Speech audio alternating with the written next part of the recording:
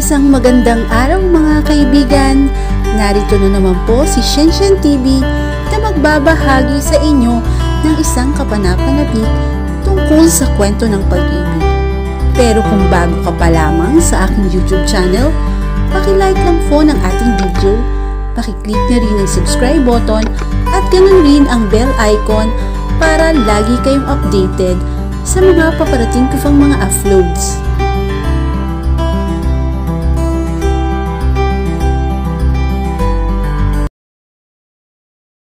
Chapter 6 Pagkakita ko pa lamang sa kanya, napapasok ng bar, ay agad na akong inatake ng kaba. Tuloy-tuloy itong pumunta sa bar counter para mag-order ng inumin. Agad akong tumayo at isang tango lang ang ginawa ko sa mga nakangisi kong mga kasama bago lumapit kay Ana. Tumikim muna ako para kunin ang kanyang pansin bago tumabi sa kanyang kinauupuan. Agad din akong nag-order ng inumin at sakto naman na nilapag ng bartender ang inumin na in-order ni Ana sa harap nito. Hey! You came! Ang medyo nauutal ko pang sabi. Hindi ko maiwasang hagurin ito ng tingin. Napaka-sexy nito sa suot na black skinny jeans at simpleng sleeveless na kulay itim rin na pinapatungan din ng suot nito na black leather jacket at hinayaang nakabukas lamang ang zipper noon. Sexy little looking that really suit with her personality. Ang makintab at unat na unat nitong buhok na hanggang balikat ay nakalugay lamang. Wala ka man lang makikita maski isang kolorete sa mukha nito, ngunit litaw na litaw pa rin ang natural na ganda nito. Ang mga labi nito na tila natural, ang pagpula, na ang sarap lamukhusin ng halik. Napalunok ako na mapagtanto ko ang bagay na yon na tumatakbo sa isip ko. Relax! Relax my friend. Ang bulong ko pa sa aking isip na tila unti-unting nagigising ang aking alaga. Bahagya ako nitong nilingon ng may tipid ng ngiti sa labi bago binalik ang tingin nito sa nilalaro nitong baso ng inumin. I told you, I come, ang simple nitong sabi habang patuloy na pinapaikot ang isang daliri nito sa labi ng kanyang baso. I never had a chance to formally introduce myself. I'm Ramil, Ramil Alegra, at nahihiya pang iniabot ang kamay ko sa kanya. Naalala ko kasi na hindi man lang kami nabigyan ng pagkakataon na formal na nagpakilala sa isa't isa. Bahagya itong natawa sa akin kaya napakamot na lang ako sa aking batok. Ngunit maya-maya pa ay inilahad nito ang kanyang kamay. Ana, Ana Montilla, ang sabi nito sa akin habang nakalahad ang kamay. Agad ko iyong inabot at marahang dinala sa aking labi. Nakatitig lamang ito sa akin habang may bahagyang ngiti sa mga labi nito. Naging magaan ang paligid para sa aming dalawa. At sa kinatagalan ng aming pag-uusap, ay nalaman ko kung gaano ito kasarap kausap at kasarap kasama. Marunong din pala ito makipagbiruan. Hindi lang pananapak at pagsipa ang alam nito.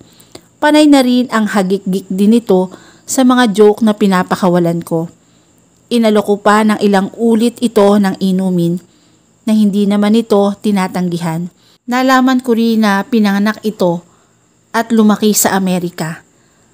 Habang ang ama nito na nakavay sa Pilipinas ay isang purong Pilipino at ang ina naman nito na may duguring Pinoy ay matagal nang patay. Kaya sa kabuuan ay malaking bahagi ng dugong Pinoy ang dumadaloy sa pagkatao nito. Hindi man lumaki sa Pilipinas, ay bihasa ito sa salitang Tagalog also found out that she could speak several languages, like French, Spanish, and Dutch. Nasa masarap na kwentuhan at tawanan pa kaming dalawa nang tumunog ang cellphone nito.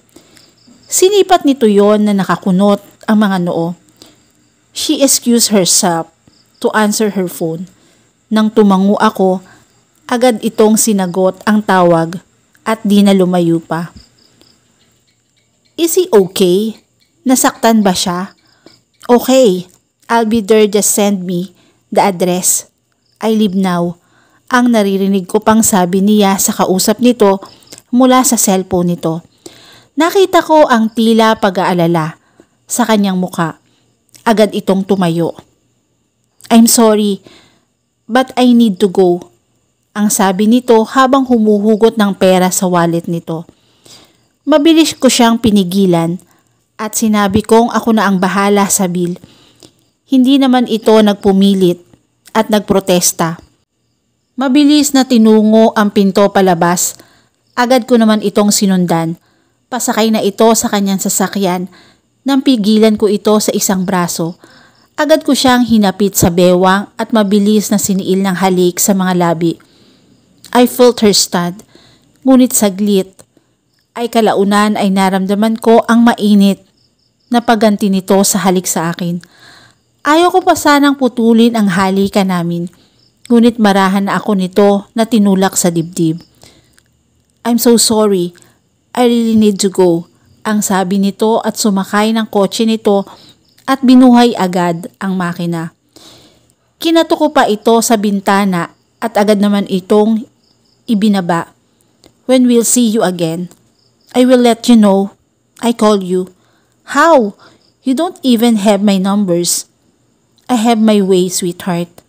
Ang tila walang sabi nito. Mabilis ko ulit itong dinukwang sa nakabukas pang bintana.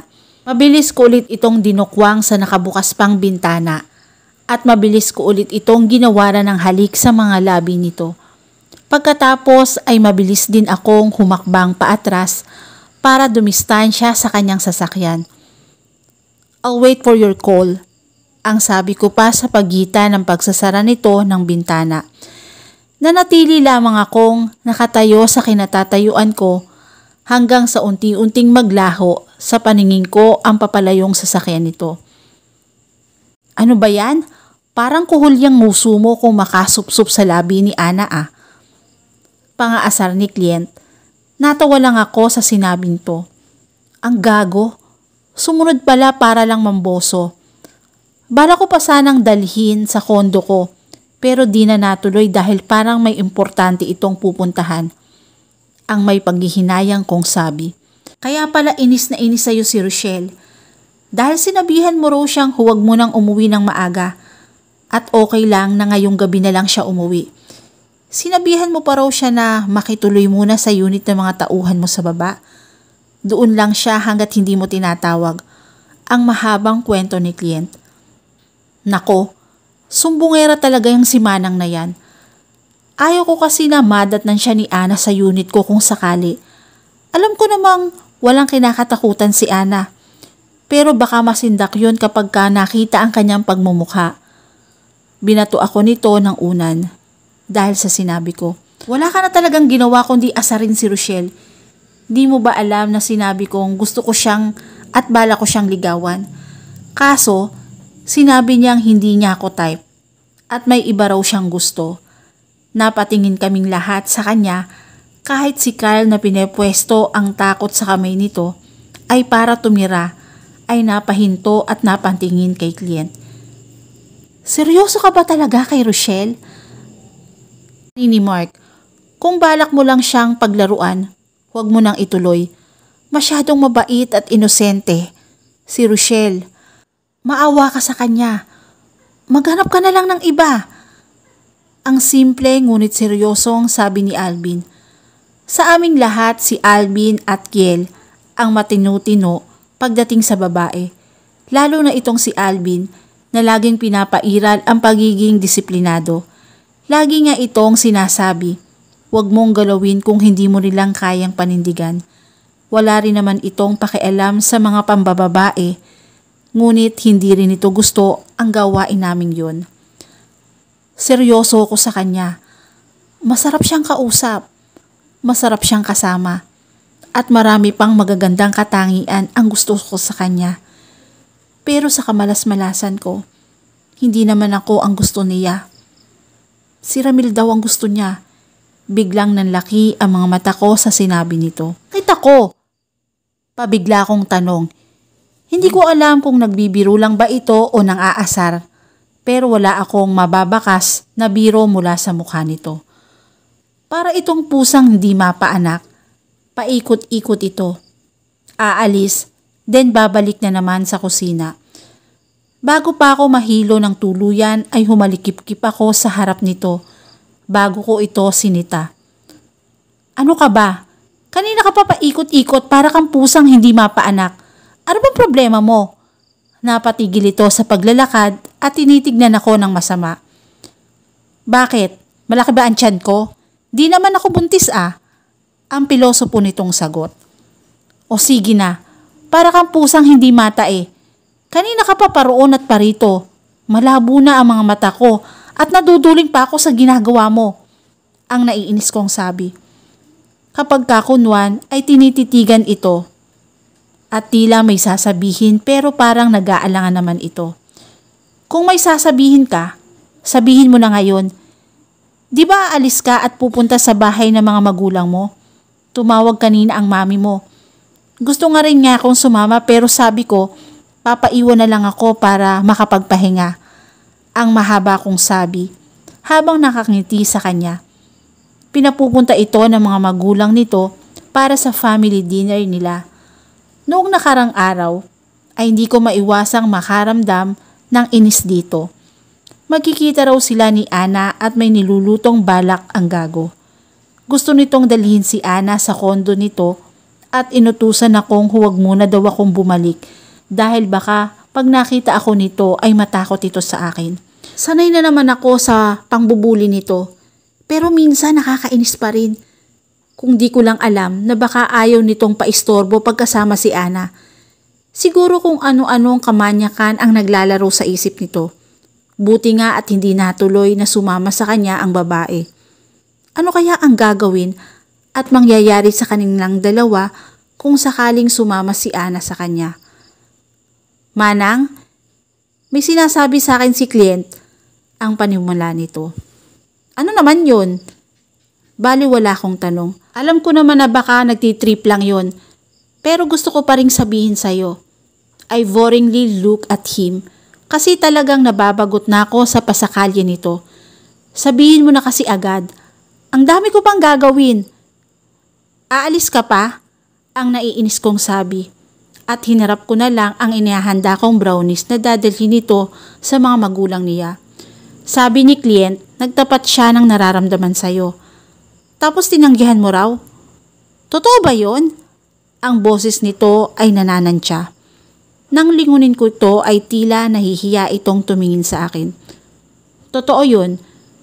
Gusto niya raw akong ligawan. Gusto daw niya akong maging girlfriend pero tumanggi ako. Hindi ko naman kasi siya type na maging boyfriend. Hindi makapaniwala ito na napatingin sa akin. Wow ha, ang taray. Ang taas talaga ng standard ah.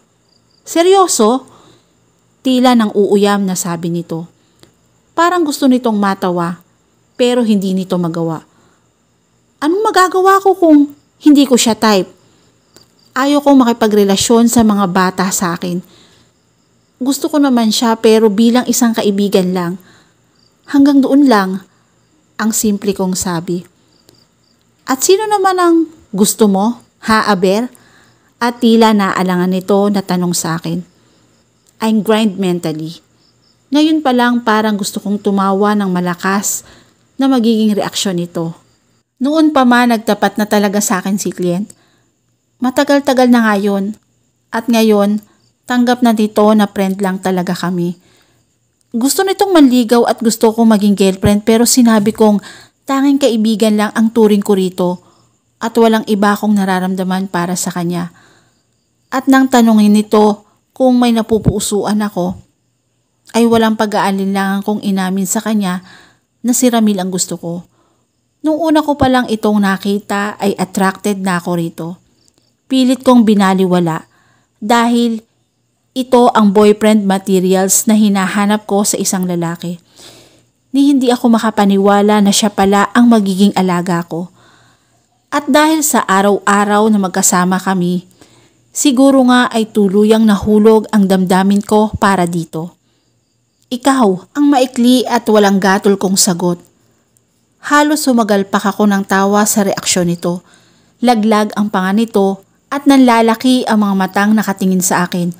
Manang naman, alam ko may kasabihan na libre lang ang mangarap. Pero manang naman, medyo pababaan mo naman ang pangarap mo. Ako'y kinikilabutan sa'yo. Medyo nauutal pa nga ito na magsalita. Tinignan ko ito ng diretso at seryoso. Sa tingin mo ba, mapipili natin kung kanino mahuhulog dapat ang damdamin natin? Sa totoo lang, hindi ko gusto na magkagusto sa'yo at mahulog ng tuluyan. Nung una ayaw ko talaga sa'yo sa maraming dahilan. Lahat ng ayaw ko sa isang lalaki, nasa iyo na lahat. Sinabi ko pa nga noon na kapag ka magkakagusto ako sa lalaki, siguraduhin kong hindi sa katulad mo. Pero ewan ko ba? Siguro dahil sa araw-araw kitang nakakasama at nakikita dahil sobrang sama at gaspang ng pag-uugali mo. Nahulog pa rin ang loob ko sa'yo. Ang mahaba kong lintanya at pag-amin sa totoo kong saloobin. Noon kapag ka tinititigan niya ako ay tila nagrarambulan ang lamang loob ko sa kaba.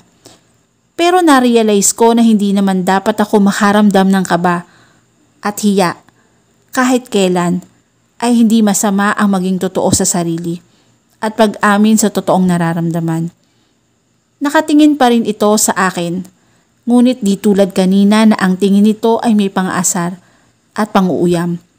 Blanco ang mukha nito na nakatingin sa akin. Pilit kong inaaninag ang kanyang mga mata pero wala akong makitang emosyon doon. As in wala. E di wala. Asa pa. Pero manang, I immediately cut him. Pero manang, I immediately cut him off. At huwag kang mag-alala. Hindi ibig sabihin na gusto kita ay umaasa akong gugustuhin mo rin ako. Alam ko kung saan ako lulugar at alam ko kung ano ang mga tipo mo at di ko yon makakalimutan. Araw-araw mo nga pinapaalala sa akin, hindi ba? Pangit ako at nandidiri ka. Natigilan ito sa aking sinabi. Kahit nga sarili ko, nabigla rin sa sinabi ko. Nakita ko ang unti-unting paglambot ng mukha nito, pati ang paglambong ng kanyang mga mata. Di ko alam pero nakaramdam din ako ng kirot sa dibdib sa sinabi kong iyon sa kanya. Tumalikod ako rito at hinarap ang binabalot kong mga brownies. Lumunok ako at pilit na kinakalma ang aking sarili.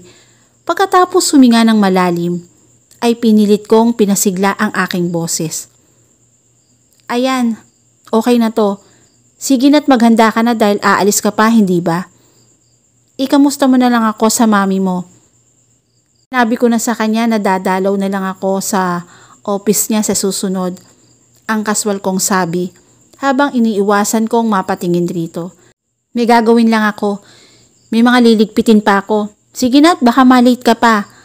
Ang kunwaring pagtataboy ko nang tila hindi pa rin ito natitinag sa pagkakatayo. Iniwanan ko na ito at mabilis akong pumasok sa loob ng kwarto. Napasandal ako sa pinto. Pagkasara ko nito, napabuntong hininga ako at unti-unting dumadaos-dos Napayakap ako sa magkabila kong tuhod. Ano ba tong napasok ko? Hindi magtatagal ay aalis na ako. Iiwanan na kita. At alam kong pagkatapos nun, makakalimutan mo rin na may isang manang na pumasok sa buhay mo. Siguro ito na rin ang dahilan kung bakit malakas ang loob kong umamin dito. Dahil hindi magtatagal ay aalis na ako. Hindi ko sinasadyang mahulog sa iyo ang bulong ko sa isip. Di ko maipaliwanag pero nakaramdam ako ng sakit sa dibdib. Sa bawat salitang sinasabi ko, nalalasaan ko ang pait nito. Pagbalik ko ng kondo galing sa family dinner namin, ay agad kong pinuntahan sa kwarto ni Yassi, Rochelle. Ngunit wala ito roon. Hinanap ko ito sa buong unit ngunit wala ito roon. Nasa kusina ako nang nakita ko ang iniwan nitong note na nakasabit sa pintuan ng prince. I already informed your mom. I need to take 4 days vacation. Emergency matter. See you Sunday night, Rochelle. Napapikit ako ng mariin. Bakit hindi man lang niya sinabi sa akin? Tinungo ko at binuksan ang kabinet at naglabas ng maiinom. Gustong sumabog ng utak ko. Magtutuos tayo pagbalik mo, Rochelle. Ang bulong ko sa sarili. Habang tinutungga ang bote ng alak. Gusto ko magpakalasi ngayong gabi. Damn. Kung hindi pa sinabi sa akin ni Mama, di ko malalaman na nagpasa na ito ng resignation letter at tinanggap iyon ni Mama. Nagtalo pa kami ni Mom nang sabihin nitong tinanggap niya ang resignation nito at pinayagan nitong umalis ng tuluyan si Rochelle sa susunod na linggo. Napangiti ako ng mapait na banggitin ko ang pangalan nito. Rochelle, bakit ganito ang nararamdaman ko? Bakit nakakaramdam ako ng bigat sa dibdib ko? Bakit tila nalulungkot ako? Di ba ito naman ang gusto ko noon? Ang mag-resign na siya at umalis na siya. Ni ayaw ko nga ng ideyang ito ni mama. Ang kumuha ng magbabantay sa akin ng yaya at napaupo ako sa harap ng lamesa habang nakatingin sa island counter kung saan madalas itong naroroon. Nagluluto, naglilinis ng kitchen, nagbe-bake at naguhugas ng mga pinggan. Nakakailang lagok pa lang ako pero pakiramdam ko, lasing na ako. I bark, a soft lap with the thought. Tila nakikita ko pa sa aking balingtataw ang reaksyon ng mukha nito sa tuwing inaasar ko, ang matatalim at malalalim na irap nito sa akin. At tila naririnig ko pa sa madalas nitong sabihin sa tuwing nilalait ko ang luto nito. Ngunit kain rin naman ako at halos ubusin ko na. Sa susunod talaga, lalasunin na kita ang madalas nitong sabihin. I never had a dry days since she came. Bakit ganon? Di pa man siya umaalis pero parang namimiss ko na siya. Why I feel this feeling na parang hindi ko kaya na wala siya. Nasanay ka lang na nandyan siya. Pasasaan ba't makakalimutan mo rin ang presensya niya? At masasanay ka ulit na mag-isa. Ang pagkukumbinsi ko sa sarili. Pero parang ayaw tanggapin iyon ng aking sistema. Sinong magluluto? Maglalaba? Mamamalansya ng damit ko at magiging tagagising ko sa tuwing di ko maririnig ang alarm clock ko dahil napasarap ang tulog ko. Pero hindi yon. Nagawa ko na yon lahat noong mag-isa lang ako. Hindi naman talaga yon ang problema. Pero ano nga ba ang pinoproblema ko? Lang naman niyang solusyonan. Madali nga lang mag-hire ulit ng kapalit nito kung gugustuhin ko. Pero yung ba talaga ang gusto ko? I want her to stay. I want to feel her present every day. I want to see her walking around. Kahit napakapangit at napakabadoy nitong manamit. Kahit na manang pa ito sa lahat ng manang. Gusto ko nga ay untog ko ang ulo ko. Gulong-gulo na ako. Pati sarili ko di ko na rin maintindihan. Tuluyan na yata niya akong kinulam. This is what you want to get rid of her, hindi ba? Heto na yon. Siya na mismo ang nag-resign. Ani ni klient. Parang gusto ko itong sipain dahil parang masaya pa ito. Lumagok ako ng iniinom kong alak. Ano ba kasi ang iniisip at nararamdaman mo? Huwag mong sabihin na nasanay ka na na may katulong dahil madali lang ang solusyon diyan. Hire a new one, ani ni Ramil. O baka naman tinamaan ka na rin sa kanya. Mabait si Rochelle at maganda rin naman. Kung matututo lang yung mag-ayos. And this is not all about her physical appearance. This is how about what you really felt for her. Ani ni Alvin. Napahilot ako sa aking noo. Lagi siyang nandyan para sa'yo. And since she live with you, napansin namin na lagi kang masaya. In the other hand, there's Ana na sabi mong gustong gusto mo. Sabi mo nga parang mahal mo na. It is not fair to keep them. Both for you pare. Si Rochelle na laging nandyan. Si Ana, isang tawag lang ni Franco ay iiwan ka na. Ang nakangising tanong ni Marlon. Tinignan ko ito ng masama. Ana was left me the last time after she received the call. Kinabukasan ay laman ng balita ang pag-ambus kay Franco. Buti na nga lang daw ay walang nangyaring masama rito. Ngunit sugatan ang dalawa nitong bodyguard ayon sa balita. Pero alam mo pare, gusto ko rin si Rochelle para sa'yo. Ang tinumo pag nandyan siya. Ani ni Alex, ayaw kong umalis si Rochelle. Hindi na ako sanay nang wala siya. Kusa lamang lumabas sa bibig ko ang mga salitang iyon. Yun lang ba ang pinoproblema mo? Madali lang ang solusyon dyan, pare. Di buntisin mo, ani ni kliyent habang nakangisi pa ito sa akin. I glared at him. Ikaw nagago ka kung hindi nakakainis ang sinasabi mo. Nakakasuka! Tinawanan lang ako nito. Ako nga gustong gusto ko na siyang buntisin. Ayaw naman sa akin. Ang sabi pa nito, Sabay-sabay kaming lahat na napatingin ng masama sa kanya. What? I'm just being honest. Anito na parang simple lang ang bagay na sinasabi nito. Maiintindihan niyo rin ako kung bakit gustong gusto ko siyang buntisin. Ang mahina pa ring sabi nito, binato ko na ito ng una na agad naman itong nasalo. Kumindat-kindat pa sa akin ang gago. Sa lahat ng narinig kong payo sa mga kaibigan ko, lalo lang sumasakit ang ulo ko. Lalo lang akong naguguluhan. Bahala na. Kung gusto niyang umalis at iwan ako, wala rin naman ako magagawa, hindi ba? Hindi ko siya pwedeng ikulong sa puder ko habang buhay dahil lamang sa walang kasiguruduhan kong nararamdaman. Hindi ko alam kung ano ang nararamdaman ko at ayaw ko siyang pigilan at ikulong sa puder ko. Para lamang sa ganitong pakiramdam, she had to live her life may sarili siyang desisyon. May sarili siyang buhay. At gusto man itong umalis, then I will let her go. At dito na po nagtatapos ang ika-anim na bahagi ng aking kwento. Maraming salamat po